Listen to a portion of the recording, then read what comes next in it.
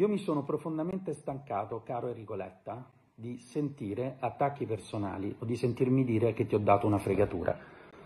È giusto che i tuoi lettori sappiano che te la sei data totalmente da sola la fregatura.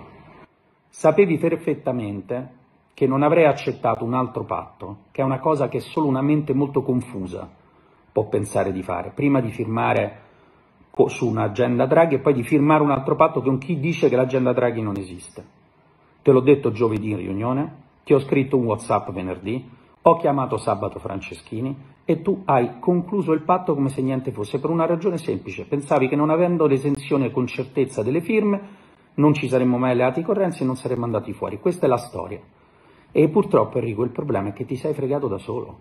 Questa è la gravità. Un leader politico che guida una grande coalizione, a cui io auguro di avere successo, almeno per il Partito Democratico, che si frega da solo Ecco, io penserei molto su questo e molto meno ad insultare gli altri. Grazie.